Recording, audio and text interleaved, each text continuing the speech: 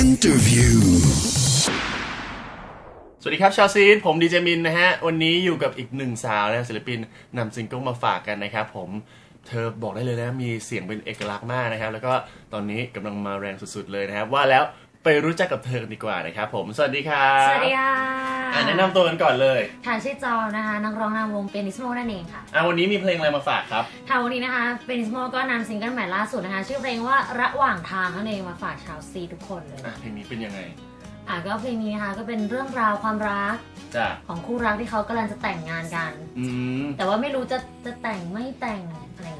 อะไรอย่างเงี้ยอ้าวทำไมอยัย่างงไม่นั้นล่ะ เหมือนแบบผู้หญิงเขาก็ยังแบบว่าไม่แน่ใจว่าจะแต่งไหมผู้ครัชายบสนใจฉันหรือเปล่าอะไรอย่างเงี้ยค่ะ ก็เลยกลายเป็นที่มาของเพลงนี้นั่นเองอืมแล้วแล้วทำไมถึงเป็นชื่อระหว่างทางก็คือตามที่บอกไป อ่าใช่เขาบอกว่าก็ระหว่างทางเนี่ยกว่าจะไปถึงบทพิสูจน์รัก อ่าบทพิสูจน์ความรักของคนสองคนเนี่ยมันก็ต้องเจออุปสรรคอะไรมากมายอะไรเงี้ยก็เลยกลายเป็นชื่อเพลงระหว่างทางนั่นเองอืม แล้วก็ตอนนี้ก็ทำ MV มาแล้วด้วย เรียบร้อยแล้วปล่อยลง YouTube เรียบร้อยแล้วด้วยครับผมอ่าอะพูดถึง MV ก่อนแล้วกัน MV ตัวนี้มีแบบว่าได้ใครมาทำงานช่วยงาน พระเอกหล่อมาก อะ พี่บิ๊กทองภูมิ ครับผมอะแล้วก็ inner มาเต็ม อันนี้ชอบงานส่วนตัวนะ ไม่ฮะใช่ แล้วก็นางเอกของเราก็เป็นมารีเบอร์เนอร์เองครับผมอ่าไปถ่ายทำกันที่จังหวัดชลบุรีอ่างเก็บน้ำบางพระอ่าอ่า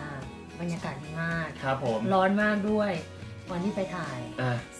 แล้วก็พระเอกใช่พระเอกนางเอกของเราเนี่ยเขาก็ลงทุนมากทั้งแบบคลุกดินมีฉากที่พี่บิ๊กเนี่ยลงไปอยู่ในโคลนด้วยครับผมหากใครอยากดูนะคะก็ต้องติดตาม MV ในยูทูบกันเห็นว่า MV นี้นะครับได้ผู้กำกับวิวร้อยล้านร้อยล้านวิวมาด้วย ใช่ที่กำกับเป็นเป็นไงเนี้ครับที่ป้างอะไรเงี้ยก็ครับสนุกมากค่ะ พี่เขาก็ใจดีมากก็เหมือนคราวที่แล้วก็เป็นทีม M ทำ MV ทีมเดียวกันฮะอันนี้ก็เหมือนก็สนิทกันแล้ว สนิทกันมากขึ้นก็เหมือนพูดคุยกันง่ายขึ้น ครับผมสำหรับ Pianismo นี้ก็ถือว่ามีการ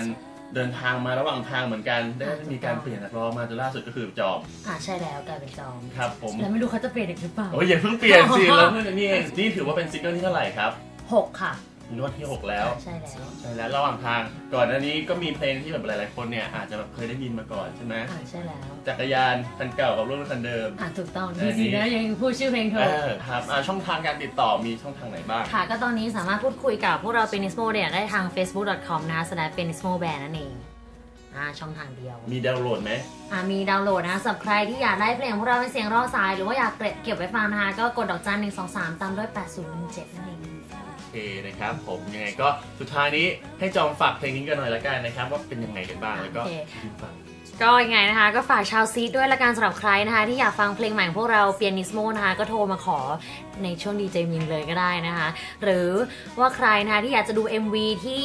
ถ่ายทำเสร็จเรียบร้อยแล้วนะเข้าไปได้ที่ YouTube แล้วก็ฝากผลงานเพลงของ Pianismo ไว้ด้วยละกันเพราะว่าพวกเราทุกคนเนี่ยรวมไปถึงทีมงานเนี่ยตั้งใจทำกันมากเลย ก็อยากให้ทุกคนได้ฟังกัน